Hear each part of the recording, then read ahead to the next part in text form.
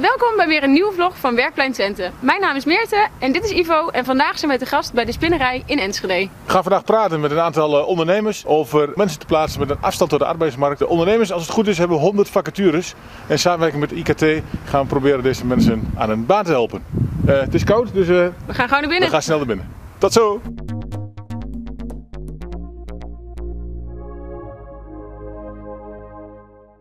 Ja, even in gesprek met eh, Inge. Waarom dit project? Dit is bedacht door het college van eh BNW van Enschede samen met de IKT.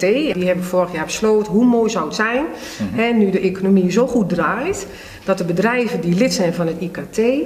vacatures beschikbaar stelt voor de mensen die nu eh, ingeschreven staan bij ons bij het werkplein. Oké, hadden het over de 100 vacatures. Nou, het is het 100 banen, 100 banen, ja. plan. Dus we gaan er naar streven dat die IKT-leden 100 vacatures beschikbaar gaan stellen voor het werkzoekende bestand van eh, Werkplein Twente. Oké. Ja, in gesprek met eh, Arjan Kapman, wethouder gemeente Enschede Werk en Inkomen. Hè? Dat, dat zegt goed. Klopt helemaal. Het project 100 banenplan. Hè? Zijn er genoeg van de kandidaten die die vacatures in kunnen vullen? Ik denk dat er zeker genoeg eh, zijn. Als we kijken hoeveel mensen er nog aan de kant staan. Hè. Het is het is Ja. natuurlijk een brede groep. Wanneer is het project voor jou geslaagd? We hebben gezegd, eh, we gaan echt voor die 100. Ik bedoel, Ja. bij 100 is een, een succes. Ja. Wordt het er meer, dat is het nog mooier. eh, maar we gaan door tot we de zeker 100 hebben gerealiseerd met elkaar. Ja, even in gesprek met eh Barry Overink. Kusje, wat jouw bedrijf eh, doet. Hij eh, zit in eh, verkeersregelaars, Kijk. Met name evenementen, wegenbouw en calamiteiten. Kan dit project iets voor jou betekenen?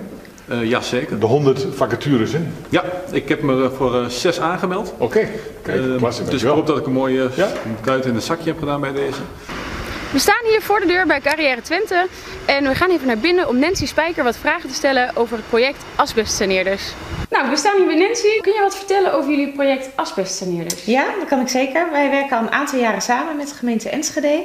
En wat wij doen is wij leiden kandidaten die of vanuit een bijstandssituatie of vanuit de WW eh, komen, die leiden wij op tot asbestsaneerder. Dus dat betekent dat je bij ons de opleiding krijgt. Je krijgt alle middelen die je nodig hebt om te werken. We zoeken een plek voor je waar je aan de slag kan en daarna kan je via ons aan het werk. Oké, dat klinkt goed. En wat heb je nodig om als asbestsaneerder aan de slag te gaan? Eigenlijk niet zoveel. Het allerbelangrijkste vinden wij is dat je graag weer aan de slag wil. Ja. Eh, daarnaast moet je wel fysiek gezond zijn, want het kan soms best zwaar werk zijn. Het is ook in de bouw, dus je moet het ook leuk vinden om buiten te werken. En eh, verder moet je de Nederlandse taal goed kunnen. Oké, en we zijn nu bezig met 100 vacatures. Alle ondernemers leveren vacatures aan. Hoeveel vacatures heb jij? 100? 100? Nee, we hebben heel veel vacatures. En de- dat blijft ook zeker nog wel 20 jaar. Zolang is de schatting wel dat er voldoende werk is voor asbestsaneerders. Als mensen willen, dan kunnen ze zich aanmelden en dan kunnen ze zeker bij ons eh, aan het werk. nou, dat klinkt goed. Dan gaan we denk ik maar hard aan de slag. Goed, goed plan. Dit was hem dan weer, de vlog van Werkplein Twente aanwezig bij de IKT-bijeenkomst. Bedankt voor het kijken. We moeten nu echt aan het werken. Ja, we moeten nu echt hard aan het werk. Eh 100 vacatures moeten we invullen, dus eh, we gaan snel weer terug naar eh, ons werkplein. Dus, eh, je hoort snel van ons. En eh, vergeet niet eh, deze vlog te... Liken en te delen. Tot snel. Doei. Tot de volgende vlog.